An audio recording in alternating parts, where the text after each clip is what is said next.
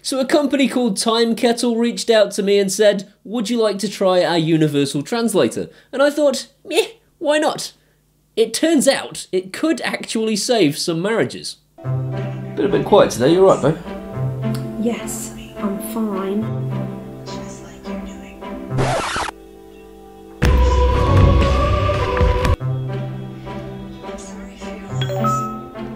You, uh, sure you're okay? Yes, I said I'm fine. It is not fine. You are in serious trouble.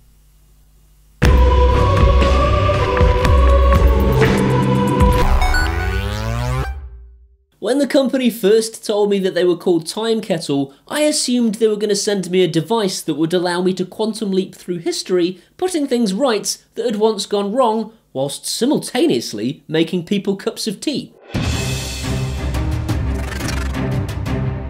That's not what it's for.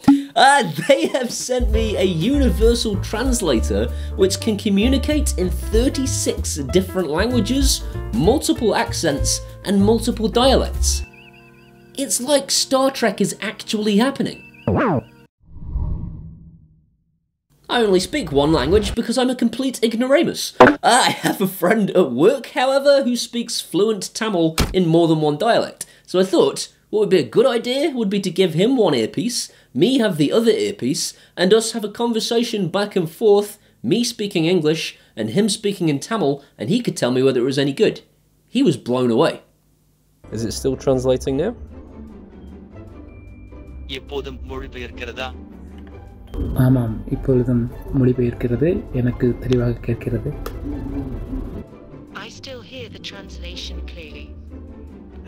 This is absolutely awesome. இது முற்றிலும் அருமை என்னால் நம்ப முடியவில்லை இதற்கு முன் இது கேட்டதில்லை Can't believe I've never heard this before. Me neither. My mum said that it was on a TV show a while ago, but she'd never seen it in real life. சிறிது நேரத்திற்கு முன்பு இது ஒரு தொலைக்காட்சி நிகழ்ச்சியில் இருப்பதாக நானும் என் அம்மாவும் சொல்லவில்லை ஆனால் அவள் அதை நிஜ வாழ்க்கையில் பார்த்ததில்லை. என்னாலும் நம்ப முடியவில்லை. இது மிக சரி. ரொம்ப தெளிவாக கேட்கிறது. அந்த மொழிபெயர்ப்பும் வந்து மிக சரியாக உள்ளது. தொண்ணூத்தொம்பது சதவீதம் தெளிவாக மொழிபெயர்க்கிறது சரியாக மொழிபெயர்க்கிறது. I cannot believe this is very well heard and the translation is very accurate. That seemed to be an even longer sentence in your language, but a very short sentence in my language. அது உங்கள் மொழியில் இன்னும் நீண்ட வாக்கியமாக தெரிகிறது ஆனால் எனது மொழியில் மிக குறுகிய வாக்கியம் The WT2 system has three different modes. The first one is called Simul mode, and you've just witnessed that. That is where you're having a simultaneous conversation between two headsets, and all it does is it listens for a pause in the conversation, and when it hears one, it sends everything it heard. Uh, the second mode is for people that are less comfortable with this kind of technology. It's called Touch mode, and it is literally touch mode. Uh, this is where you press on the earpiece whilst you're speaking and you release and it sends the information. So if it's somebody who is likely to keep pausing as they're talking because they're nervous, they can just hold on to it until they're finished speaking and then let go and it will send the information. The final one is speaker mode and speaker mode allows you to use your phone uh, as the microphone so that only one person needs the headset. So you could have them speaking into the uh, phone and the translation coming through on the earpiece to allow more than one person to speak to that individual. That's the three modes. When I first opened the case and gave one of the earpieces to Singaram, the first thing he said was, This looks like a premium product. That's because it is.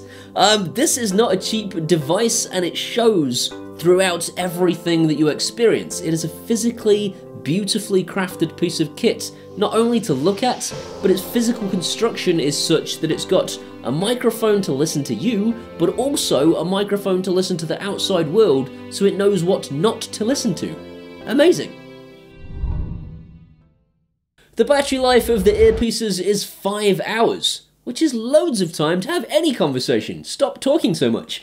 Uh, the charging case will give you 15 hours because it actually holds 15 hours worth of electricity itself. So when you put them back in the case, even if the case isn't connected to the mains, it starts charging the earpieces, which is awesome.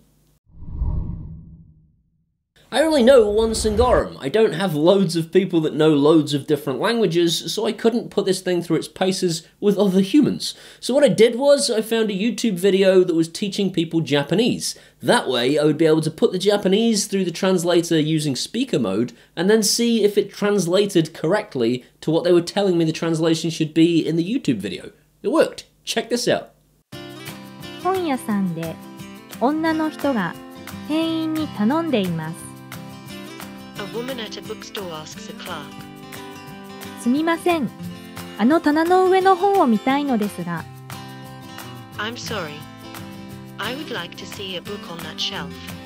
どの本ですか？車の本です。ちょっと待ってください。これですか？はい、そうです。Yes, it is. This wouldn't be a very balanced review if I didn't tell you about some of the things it doesn't do quite so well. Time travel. There's no time travel at all. Don't call yourselves Time Kettle and get me all excited and then not give us time travel. Uh, in all honesty, there's like nothing to complain about with this device. It claims to have 85% translation accuracy, and I actually think that's really modest. I think if you're not thinking about what you're going to say and you kind of jabber on and you um and you ah and you pause too long, then it tends to pick up the beginning of what you're saying without context and then try and translate it. And I think that's when you get your 85%. I think actually, if you think about what you're going to say and then you say it, it's more like 98% accuracy. Me and Singaram were able to have a fluent conversation, and even when we weren't sort of giving it any thought, we could understand what each other was trying to say. This thing is really, really good. The only other negative thing I can say is that this thing currently, currently requires an internet connection. Time Kettle are working on this as we speak, so soon it will be all encompassed within your mobile phone, which is absolutely brilliant. Um, I have an internet connection all the time anyway, so this doesn't bother me. But if it does bother you, it won't bother you for long, because they're fixing it. You might be thinking, well, why do I need this? And the answer is, maybe you don't. Um, it's only going to be, of course, useful to people who would like to translate on a regular basis. So it's going to be super awesome for anyone who goes away on business trips a lot. Uh, it's going to be great for people that work in healthcare. So anybody who works in healthcare will tell you it's really difficult to understand what is wrong with a person uh, or what a person wants if you can't speak in their language. And it costs hundreds and hundreds of pounds to get a translator in to do that. Uh, these things are going to be absolutely awesome for that reason. Um, they're going to be great for people who regularly go on holiday to lots of different destinations. My boss would benefit from this enormously because she is trying to visit every country in the world and she travels alone. Um, you will know if this is for you, and if it's not, I'm sorry I wasted 10 minutes of your life. I hope you enjoyed it anyway. As usual, there are links in the description if you want to buy this thing, it costs this much money. And honestly, if you're saying that's expensive, it's only because you haven't physically held these things in your hands and stuffed them into your ears and listened to them working. They are physically brilliant and they are worth every penny of that if this is something that is of value to you. If you want to translate stuff, that is a lot cheaper than an interpreter, and it definitely, definitely works, I can assure you. Uh, that's it for this week. I hope you've enjoyed it. If you have, please give this video a thumbs up. If you want to see some more of this guy, hit that subscribe button and ding that bell. Dinging the bell will tell YouTube you want to see some more of this guy and actually know about it when he posts videos, because it will notify you. Uh, these amazing people are my patrons from Patreon, and you can help make these videos a possibility, just like they do at Patreon, uh, or you can buy me a one-off beer at PayPal, and either way, I will love you forever. Uh, come and hang out with me on social media at all the Facebooks and the Twitters and Instagrams, and I'll see you next time. Bye bye. I need to get serious. Right. What's my motivation? Hmm? What's my motivation? I what's that from? I don't know. Acting. Okay, wait. It's like my mouth like this. Do a more comedically over the top scowl. Yes, I'm five. You put the English one in your ear, that's bollocks. Try again. I thought I was going to be able to quantum leap my way through history, putting things wrong. Ah, putting things wrong. That would be a terrible superhero. uh, if you are less comfortable with the technology, you can use.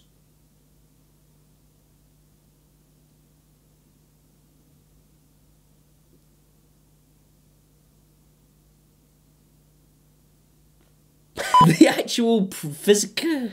Physical.